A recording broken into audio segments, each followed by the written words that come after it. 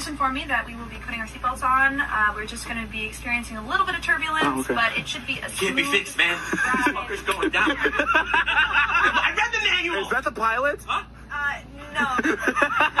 Hey guys, it's your captain speaking. Uh, I got some bad news and some good news. Bad news is uh, we're crash landing.